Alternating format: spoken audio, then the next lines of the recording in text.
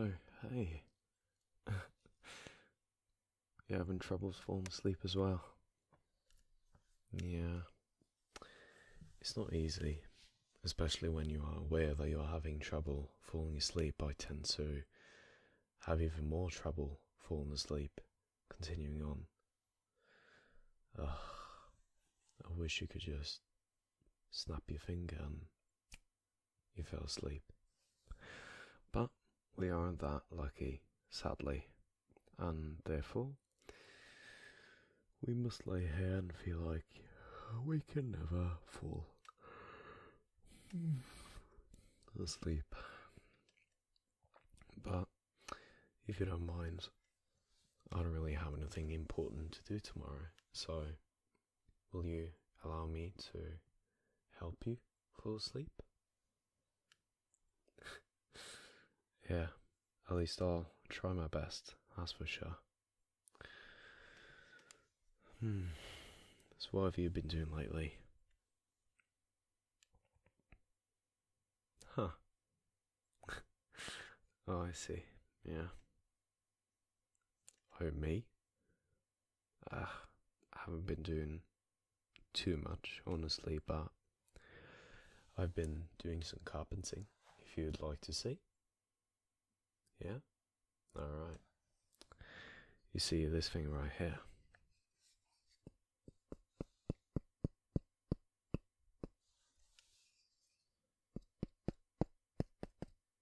Right here. This is a box that I've made for my girlfriend. Now, she doesn't watch my videos, so it's alright if I tell you that we're having our one year anniversary quite soon, and I wanted to give her a necklace. And not just any kind of necklace, I wanted to give her a necklace that means something to me and to her, probably has some meaning. But I'm having big issues with it, with finding the right one. But anyway, it's just a simple box that I sawed and sanded and made a hole in and made locking mechanism. It took quite a while. The wood that I decided to use is incredibly difficult to work with, but it ended up working out in the end, luckily. And yeah, but let's not worry about that. Let's worry about trying to fall asleep together. it's so hard, you know, when you want to sleep, you just see a video or something and you go like, "Oh, oh my god. I need to watch that." But at the same time, you're telling yourself that, "Oh god, you really, really shouldn't. You should try and fall asleep." But you really don't want to fall asleep. These things right here.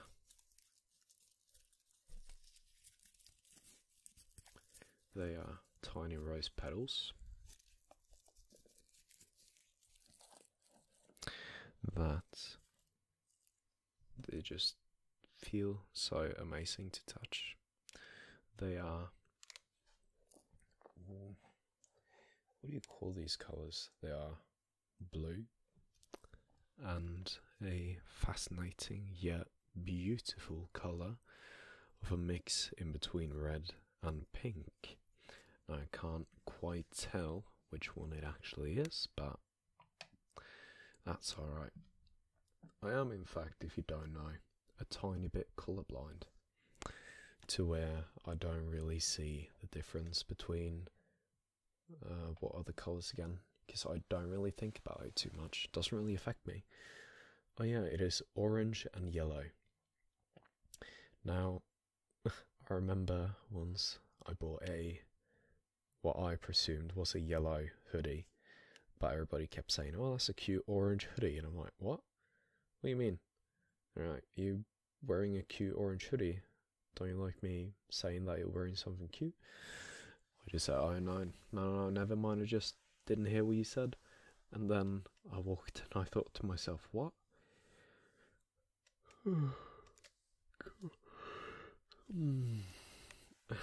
but yeah, damn, I am tired. I hope you are too. I hope you're able to fall asleep soon as well. do the it. And of course, as I tend to say a lot, we all need to sleep. Once in a while, at least. I mean, when I do travel with the army, I'm assuming that there's going to be not as much sleep, but I'm assuming they will allow us to sleep. Good soldiers won't be able to, well,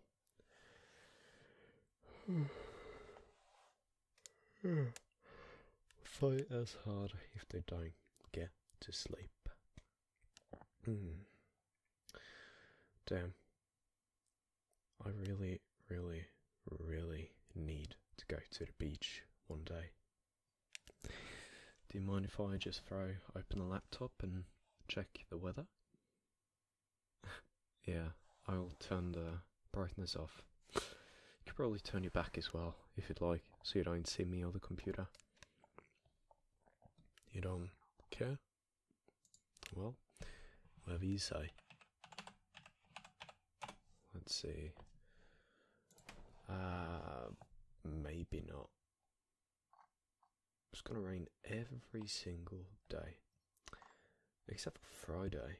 Friday's gonna be quite alright. From 6 to 12, full sun, 17 Celsius. 17 cel, uh, Celsius to Fahrenheit, uh, 62 Celsius. That's not too bad. Uh, bath water temperature. Let's see, and then I'll put in our town. And let's have a look. It is 18.6 Celsius.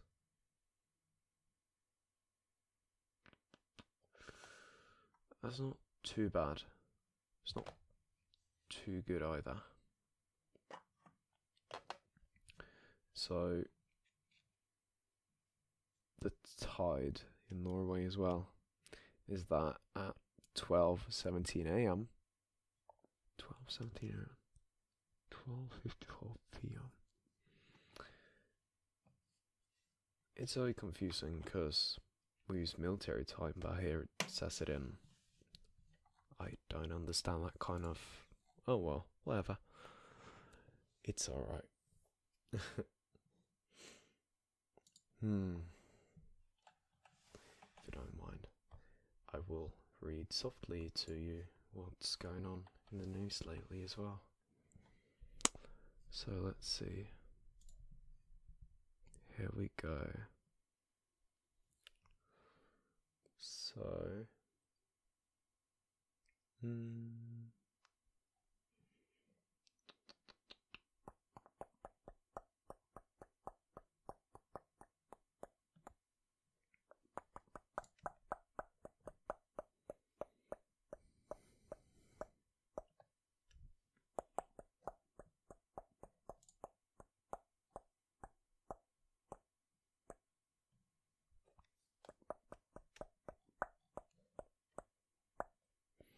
So, you know, the coronavirus thing. In Norway, it's completely, you know, what should I say? It's currently going away, but here I'm looking at a thing that in a town close to me there's been a new outbreak because people have currently gone to Spain and other places, even though they're recommended not to. Now there's been another outbreak, so that's not good. let's see.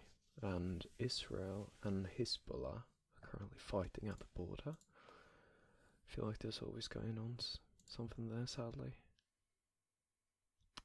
And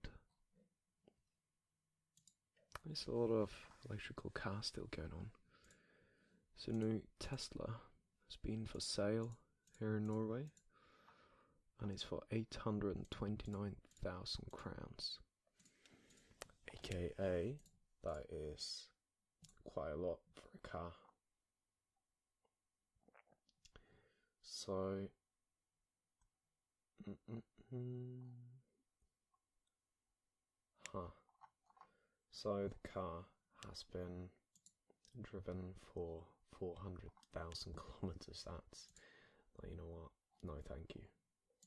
That car's gonna break down. How do you drive a Tesla for that long? When is that new? He says it's completely new Tesla. It's been 400,000. Jesus, that. No, that's not alright. that's not okay at all. Jesus Christ. Oh well. Hmm. So, it's also a cat car. I'll try and explain it to you while you keep your eyes closed. It's a car that's basically formed like a cat. And, huh, that's quite interesting, but I have to close it down if I want to sleep as well. huh, a cat car. Imagine having that. Looking at all these expensive cars, and it's just. I don't know. I'd rather spend my money on something else. I mean, I understand that if you have that much money and you're really interested in cars and you drive every single day, or you drive a lot, you don't need to drive every single day, but imagine you have work, which is a couple of miles away from you.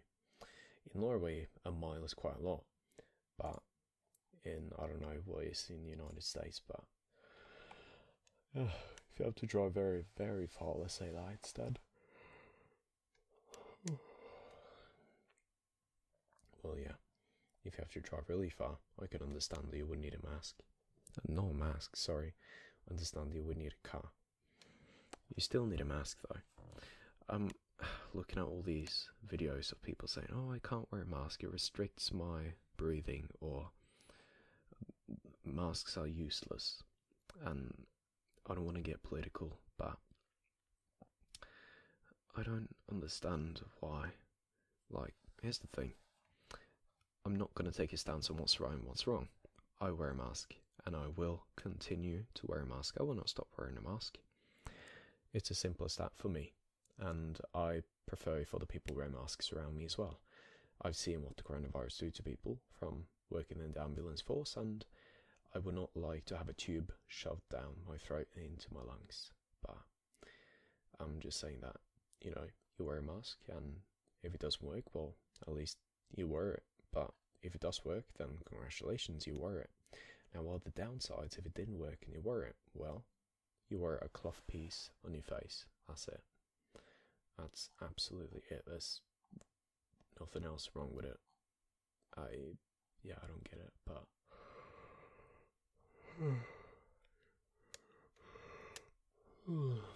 You know, let's put aside all these talkings about Corona and all that. Let's try and think about ourselves and our own health and try to fall asleep. You really need to fall asleep, asleep, asleep, asleep, asleep, asleep, asleep.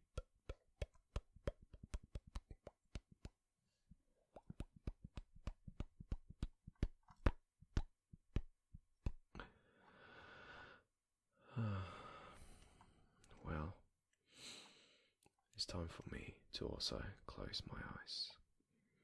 And let's meet again in our dreams. Good night, and may you sleep well.